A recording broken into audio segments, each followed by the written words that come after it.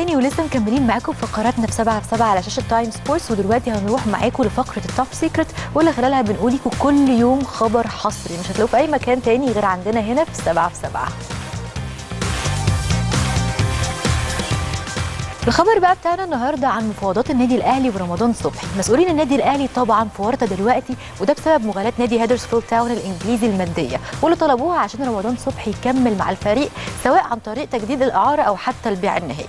لكن في مشكلة جامدة جدا ما بين النادي الأهلي وما بين النادي الإنجليزي ولسه لغاية دلوقتي ما وصلوش لصيغة اتفاق.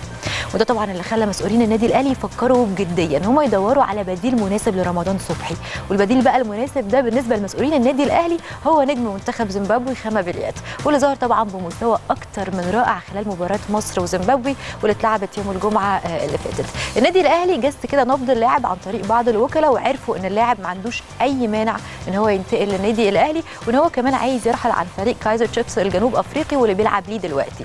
بليات كمان قال لوكلائه إن هو عايز يلعب في الدوري المصري واللي شايفه إن هو الأفضل في قارة أفريقيا وإن هو فعلا بيكون بوابة للاحتراف في أوروبا. بليات كمان في حالة التعاقد معاه بالنسبة للنادي الأهلي مش هيكلف خزينة النادي الأهلي كتير زي طبعا استمرار رمضان صبحي اللي كان هيخ... هيكلف خزينة النادي الأهلي مبالغ طبعا أكبر بكتير. بعد ما نادي هيرسفيلد تاون الإنجليزي طلب حوالي 8 مليون جنيه استرليني عشان يستغنوا عن خدمات رمضان صبحي. وده أكيد خلى عدد كبير من جمهور النادي الأهلي يوافقوا برضو على رحيل رمضان صبحي خصوصا إن هو بالنسبة لهم ما وصلش للمستوى اللي كانت الجماهير مستنياه.